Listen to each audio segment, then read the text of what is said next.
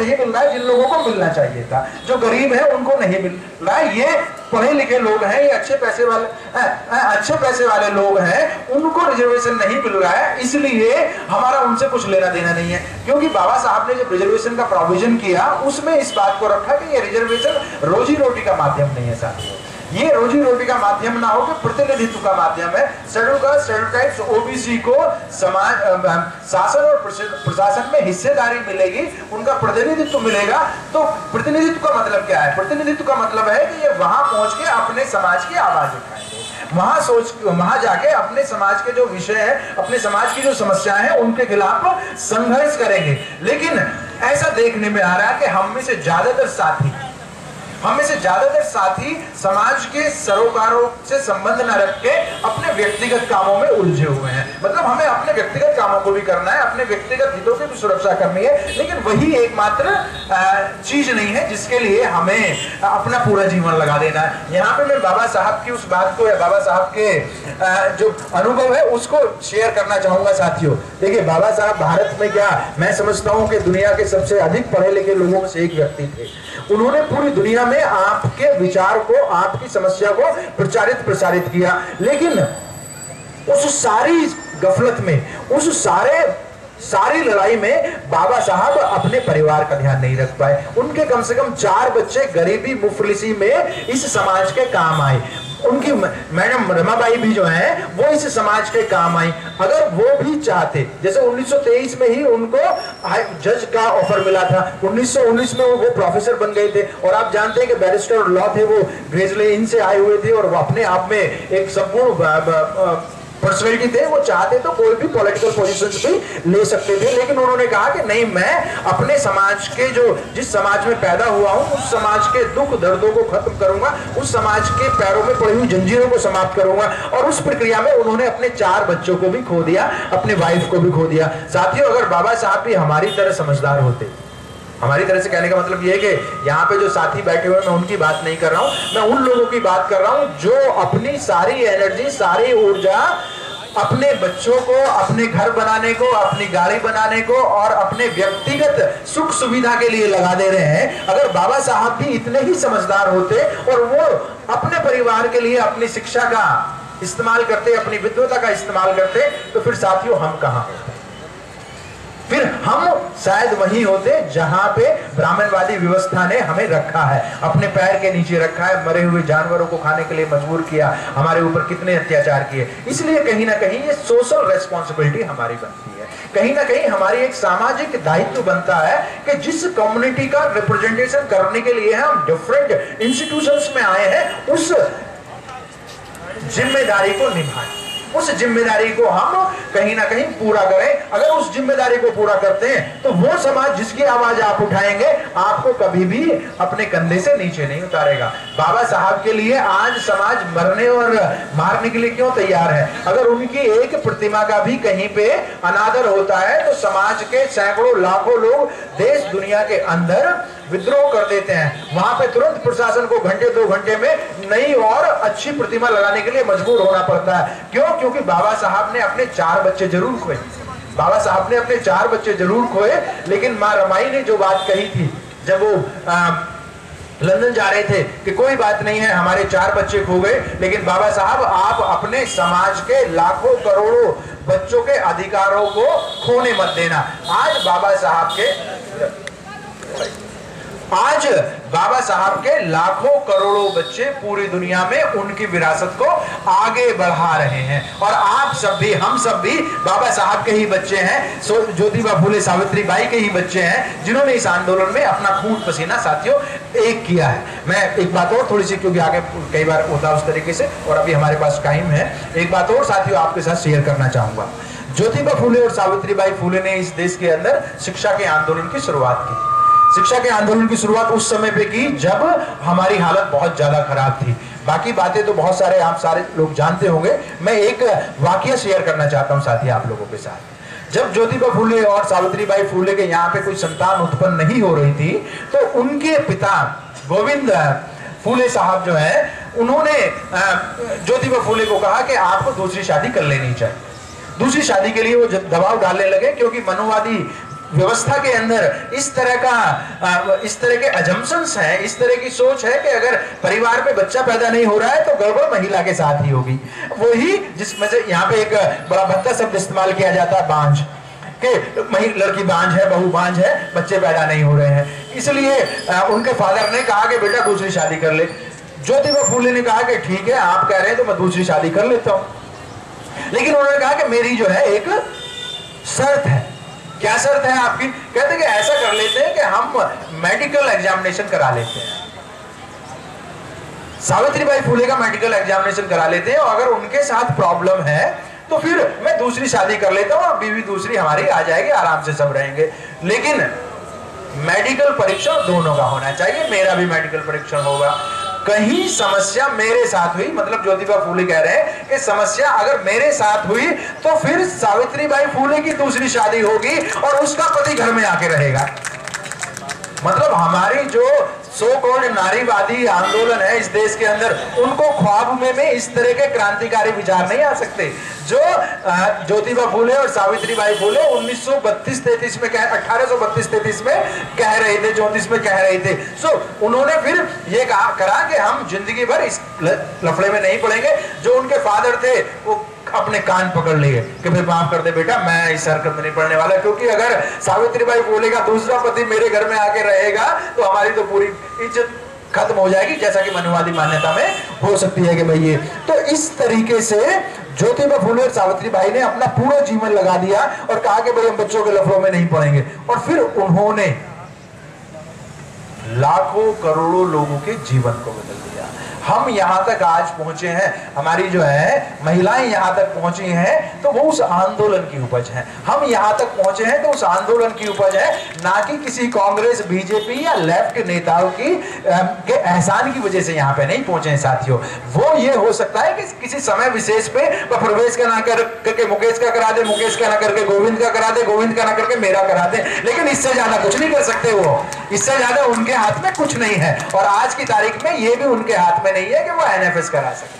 तो हमें ज़िम्मेदारी को समझना चाहिए कि भाई ठीक है उन्होंने हेल्प की शुक्रिया लेकिन आंदोलन में हमें उनकी गुलामी स्वीकार नहीं करनी है। हमें आंदोलन जो है ज्योतिबा फूले बाबा साहब सावित्री बाई फूले का ही बढ़ाना क्योंकि हम उनकी मानस संतान है। हम उनकी वजह से पैदा हुए माँ बाप ने हमारे जन्म ज़रूर हमें दिया लेकिन हमारे अंदर जो वैचारिक ऊर्जा पैदा हुई है हमारे अंदर जो आ, ये कॉन्फिडेंस पैदा हुआ है, वो उस आंदोलन की वजह से पैदा हुआ है। लेकिन जब आप चरण वंदना करने लगते हैं तो फिर हम कहीं ना कहीं ज्योतिबा फूले सावित्री बाई फूले आपके उस बलिदान को, उस त्याग को अब्यूज करते हैं। उसको कहीं ना कहीं जो है गाली देते हैं, और मान्यवर काशीराम साहब इसके लिए एक शब्द इस्तेमाल किया करते थे कि कहीं ना कहीं हम अपनी नालायकी का सबूत देते हैं। हमें अपनी जो है नालायकी को दूर करके, नालायकी का मतलब यह है कि बाबा साहब और ज्योतिबा फूले की लायक संतानें बनना। लायक संतानें वो होती हैं जो अपने माँ बाप के काम को आगे बढ़ाती है, जो अपने पूर्वजों के काम को आगे बढ़ाती है। इसलिए ये आंदोलन जो यहाँ तक पहुँचा है साथियों, आपको जान के ताजुब होगा कि आज देश का कोई ऐसा विश्वविद्यालय नहीं है जहाँ पे हमारे शिक्षकों ने पहुंचकर अपनी मानवतावादी विचारधारा के सहारे।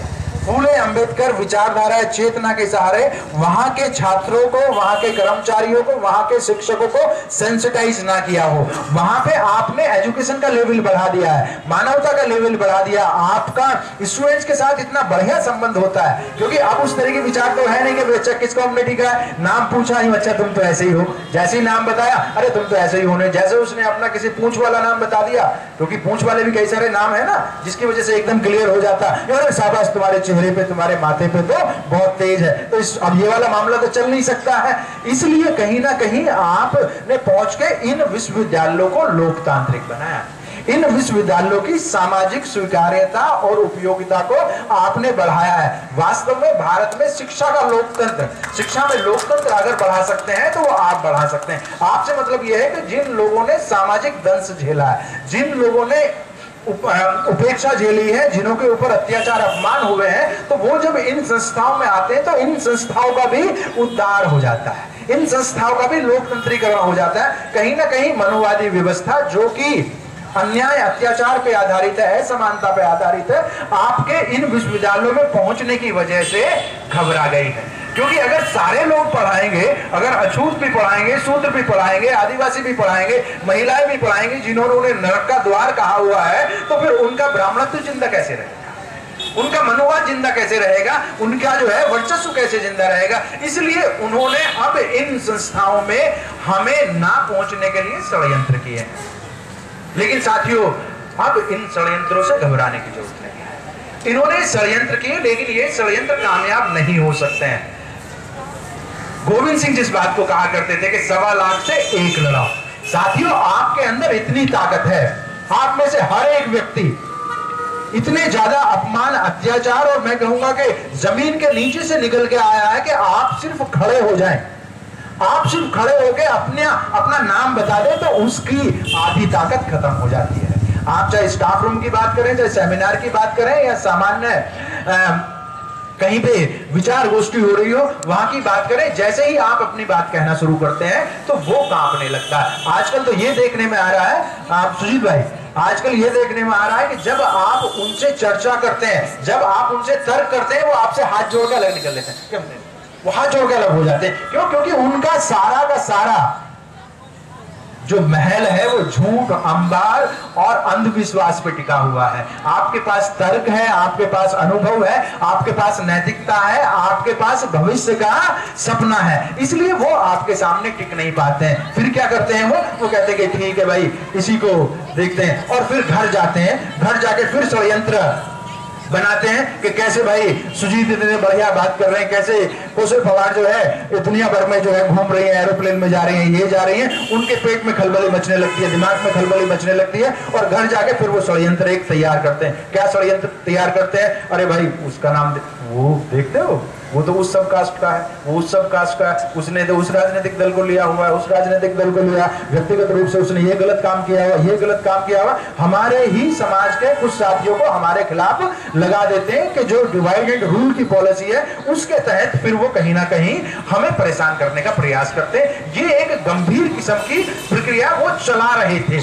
लेकिन ये खुशी की बात है कि हमने अपने 2000 साल के संघर्ष से अनु जो संघर्ष का अनुभव है, उसका फ़ायदा उठाया और अब हमने उनके प्यादे बनने से इनकार कर दिया।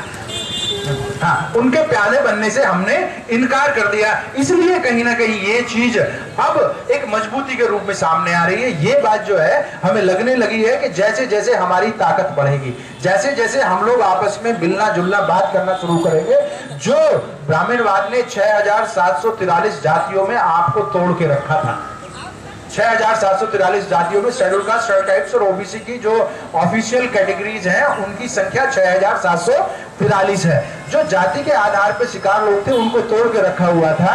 अब उन्होंने आपस में भाईचारा बनाना शुरू किया है। आपस में उन्होंने मिलना जुलना शुरू किया है। तो साथियों जैसे जैसे आपकी रफ्तार बढ़ती जाएगी, ऐसे ही ऐसे देश का लोकतांत्रिकरण होता रहेगा। हमारा जो ये संघर्ष है, हमने जो ये नारा दिया कि हमारा ये संघर्ष जो है, सिर्फ़ कुछ पोजीशंस को सेव करने का नहीं है, बल्कि भारत की शिक्षा व्यवस्था को बचाने का है, भारत के लोकतंत्र को बचाने का है, और अल्टीमेटली भारत राष्ट्र को बचाने का यह संघर्ष है। हमें जहाँ कहीं भी अब कहने का अवसर मिल रहा है, अपनी बात को रखने का अवसर मिल रहा है, हमें इस बात को आगे बढ़ाना है कि भाई, हम वास्तव में इस देश की शासन व्यवस्था को लोकतांत्रिक बनाना चाहते हैं, इस देश की शिक्षा व्यवस्था को लोकतांत्रिक बनाना चाहते हैं, और वो व्यक्ति जो साठ, सत्तर साल की अपनी बात को एक मिनट में खत्म कर रहा हूँ मैं। जो लोग पिछले सत्तर साल से भारत में यहाँ के लोगों को दो टाइम का खाना नहीं दे सके हैं, क्योंकि उन्होंने सत्तर साल से शासन किया है और ये खुद कह रहे हैं कि 67 परसेंट लोग तो दो टाइम का खाना ही नहीं खा पाते। और खुद इन्हों के जो स्टेट स्टेटिस्टिक्स कह रही है कि एक प्रतिशत लोगों के पास 73 परसेंट यहाँ पे रिसोर्सिस हैं। दूसरी तरफ़ ये ये भी कह रहे हैं कि जो लोअर 68 परसेंट है मतलब जो जनसंख्या में 68 परसेंट इकोनॉमिकली वीकर सेक्शन है, नीचे से उनके पास सिर्फ़ एक परसेंट यहाँ की प्रॉस्पेरिटी या वेल्थ है। इसका मतलब यह है कि टोटल एब्सोल्यूट डिस्पैरिटी है और यह कहीं ना कहीं मनवादियों ने जान पूछ के जिससे कि बहुजन समाज सिर्फ़ रोजी रोटी में ही उलझा रहे। उसको अपने दिमाग को चलाने का अवसर ना मिले क्योंकि गाँव छोटे कस्बों में आपको कई बार ये सुनने को मिल जाता है अच्छा पेट में पेट में दाना पड़ गया तो दिमाग चलने लगा दिमाग खराब हो गया। वास्तव में वो आप ही के लिए है कि भाई आपको हमेशा अपनी रोजी रोटी के लिए संघर्ष कर, करना पड़े। हम सुबह के सुबह खा लिया तो शाम के बारे में चिंता करें शाम को खा लिया सुबह के बारे में चिंता करें और उनके षडयंत्रों के बारे में सोचे ना अपना दिमाग ना चलाए। जैसे ही आप अपना दिमाग चलाते हैं तो मनोवाद जो है वो कांपने लगता है। इसलिए साथियों ये संघर्ष जो है हमारा लंबा चलेगा। इसका तात्कालिक जो कारण है वो आ, पाँच मार्च का यूजीसी का लेटर है, लेकिन इसको हमें एक वैचारिक आंदोलन के रूप में परिवर्तित करना है। इसको कहीं ना कहीं हमें जो शासन, प्रशासन के अंदर ये जो मनुवादी विचारधारा है, उसको परास्त करके मानवतावादी विचारधारा, समतामूलक समाज की स्थापना को आगे बढ़ाना है। यही हमारा वैचारिक परिप्रेक्ष्य होना चाहिए। साथियों, मैंने थोड़ा ज़्यादा टाइम ले लिया क्योंकि तब तक साथी पहुँचे नहीं थे, लेकिन मुझे लगता है कि ये भी इंट्रोडक्शन थोड़ा सा ज़रूरी था। धन्यवाद, जय